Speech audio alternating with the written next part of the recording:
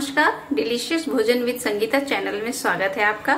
तो दोस्तों, आज हम बहुत ही मज़ेदार रेसिपी बनाने वाले हैं और बहुत फटाफट से बन जाएगी।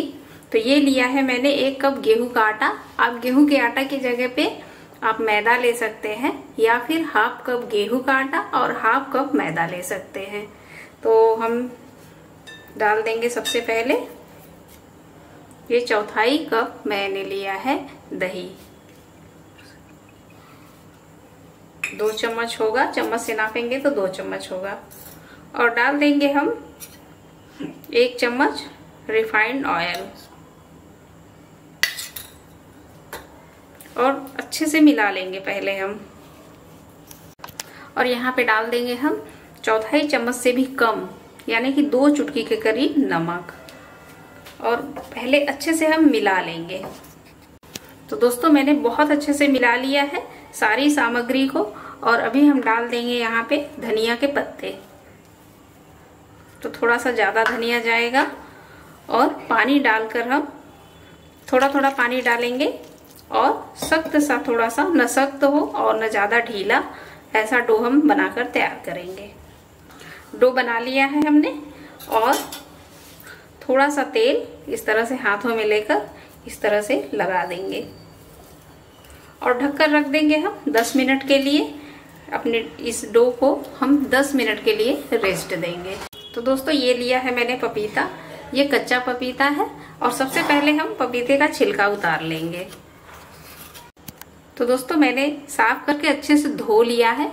ये इधर का एरिया पूरा हरा वाला निकाल देना है और जो बीज होते हैं ना, ये भी अच्छे से साफ़ कर लेना है, नहीं तो फिर ये कड़वा लगता है खाने में। तो ये जो एकदम महीन वाला ग्रेटर है, इसी से हमें ग्रेट करना है। तो दोस्तों, मैंने ग्रेट कर लिया है और पपीते को ग्रेट करने के बाद इसमें जो पानी होता है ना एक्स्ट्रा, इस तरह से हम निकाल देंगे ये देखिए, इस तरह से निचोड़ कर अच्छे से हम निकाल लेंगे। तो दोस्तों, हमने अच्छे से पानी निकाल लिया है। इसमें कुछ चीज़ें मिलाएँगे, लेकिन अभी नहीं। तो सबसे पहले हम देख लेते हैं, हमारा डो 10 मिनट हो चुका है और ये देखिए, बहुत अच्छे से रेस्ट लेकर बिल्कुल सॉफ्ट हो गया है। ये देखिए तो एक बार हम मल लेते हैं हाथों से इस तरह से। तो दोस्तों, हम इस तरह से दो भाग में डिवाइड कर लेते हैं। पहले और जिस तरह से हम रोटी बनाते हैं ना, रोटी से थोड़ा सा मोटा हमें रोटी बनाना है। तो ये मैंने थोड़ा सा ज़्यादा लिया है, अभी हम इस तरह से रोल करके, कट करके निकालेंगे। ये देखिए। थोड़ा सा आटा लगा लेंगे, आटा या मैदा।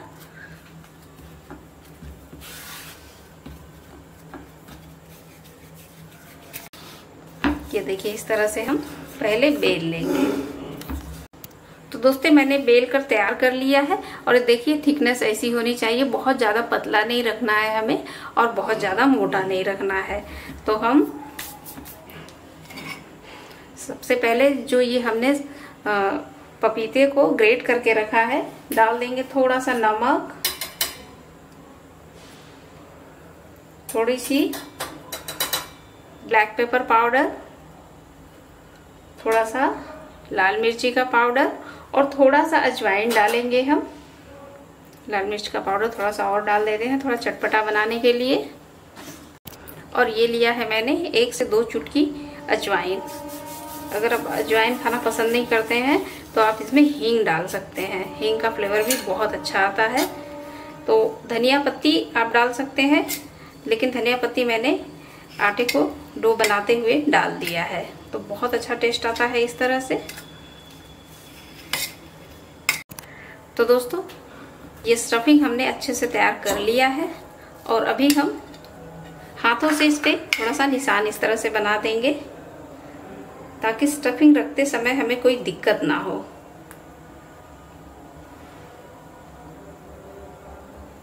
चाकू से भी आप बना सकते हैं और थोड़ा थोड़ा स्टफिंग हम इस तरह से रख देंगे।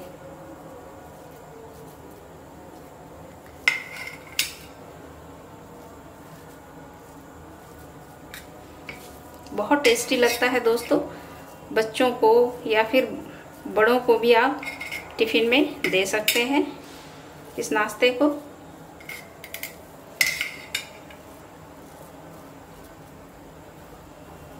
और ये जो दूसरा हमने रोटी बेल कर तैयार किया है, ये इस तरह से उठाएँगे और इसके ऊपर रख देंगे। इस तरह से कट लगा लेंगे हम।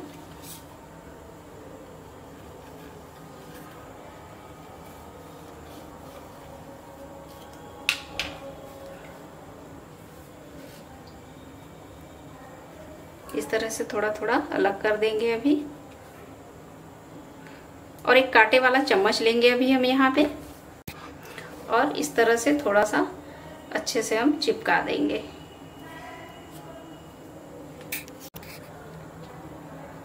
जो कि देखने में भी काफ़ी खूबसूरत लगेगा। तो सारे पे हम इसी तरह से कांटे वाले चम्मच की सहायता से इस तरह घुमा घुमा कर चिपका देंगे। और सामने से भी उंगलियों की मदद से हम इस तरह से दबा देंगे। थोड़ा सा शेप भी आ जाएगा और पूरा बंद भी हो जाएगा। तो दोस्तों, देखिए, हमने बना लिया है और कितना खूबसूरत लगता है और लग रहा है खाने में भी उतना ही टेस्टी और उतना ही हेल्दी है ये। तो चलते हैं गैस की तरफ़। तो दोस्तों, ये पैन रख दिया है मैंने और तेल रख दिया है गरम होने के लिए। तो तेल हमारा गरम हो गया है और फ्लेम को हमने यहाँ पे मीडियम टू लो रखा है और एक एक उठाकर इस तरह से रख देंगे जितना हमारे पैन में आ जाएगा और अपने आप से पकने देंगे।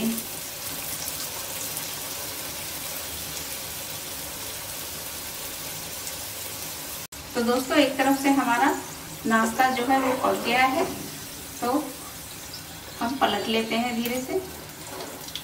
ये देखिए, इस तरह से भी पलट लेंगे और इस तरह से भी हम पलट लेंगे। तो धीमी धीमी आँच पे पका लेंगे। तो दोस्तों, नाश्ता हमारा बनके तैयार हो गया है। ये देखिए, कितना बढ़िया सा कलर आया है। तो इसी तरह से पहले सारा हम बना लेंगे। देखने में भी कितना खूबसूरत लग रहा है और सारा बना लेते हैं।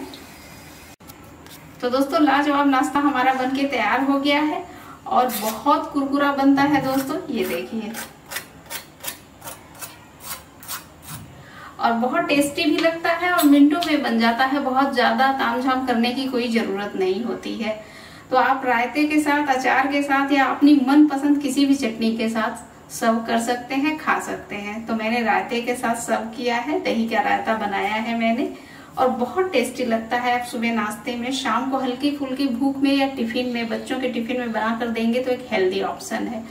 तो आप ज़रूर इस रेसिपी को एक बार ट्राई करिए। अगर मेरी रेसिपी में आपको कुछ भी अच्छा लगा हो तो प्लीज़ आप मुझे कमेंट बॉक्स में लिखकर ज़रूर बताएँ।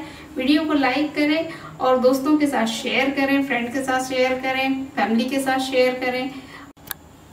और मुझे सपोर्ट करने के लिए प्लीज़ दोस्तों आप चैनल को सब्सक्राइब कर लीजिए। वीडियो देखने के लिए आपका धन्यवाद।